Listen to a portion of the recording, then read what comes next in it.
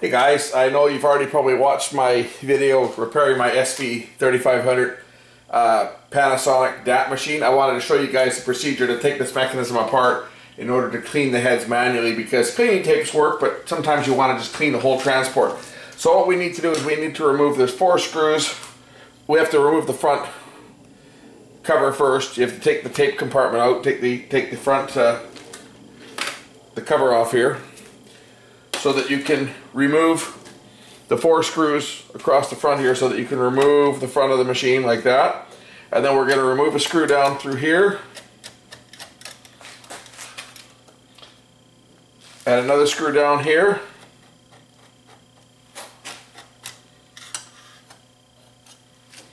And then there's two more on the back side here. So you might, it, it, it's best to take the head preamp out of the way as well just remove the head preamp out of the way so that's out of the way. One more screw down here.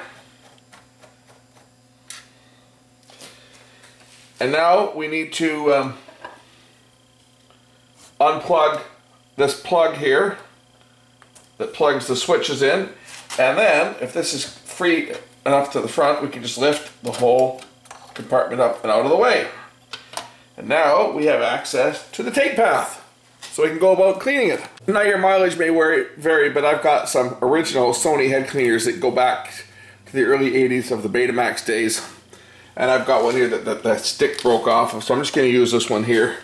Yeah, this is kind of dirty. This one I've used it a few times before, but there are some clean spots on here that haven't uh, got any dirt on them yet. So we're going to take the cleaning stick and we're just going to clean everything that the tape touches. If I want to rotate the capstan shaft, I can just rotate this little gear here. This is driven by a toothed belt that, right over to the capstan shaft. So I can just turn that, and while I'm cleaning the capstan shaft here,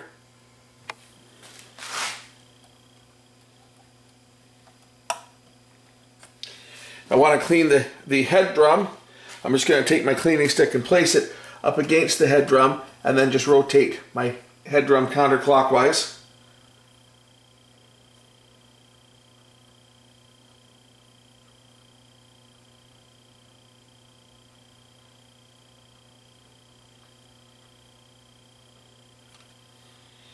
And I'll do the same for all the guides.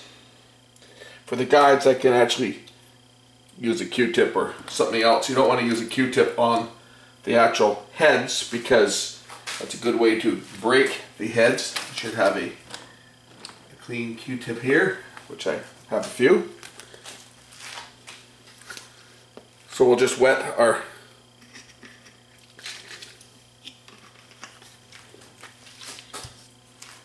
cotton swab and just clean all of the rollers and the guides.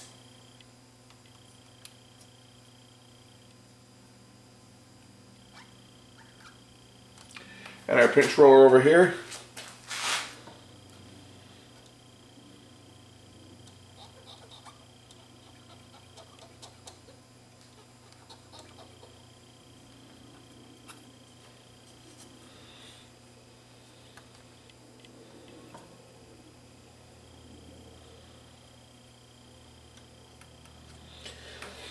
Now this deck that I've just overhauled that I just bought I'm likely going to be putting this one up on the market now that it's fixed. That's why I'm giving it a good clean and complete overhaul before I sell it.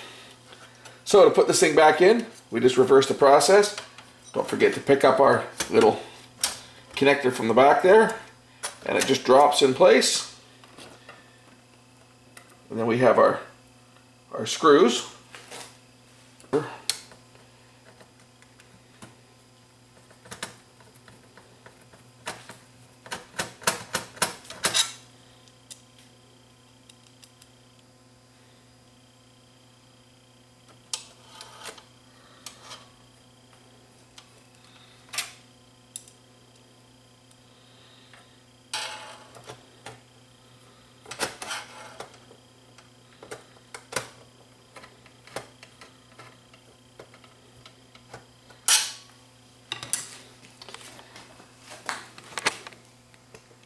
And then we can once again just slide the front face piece back on.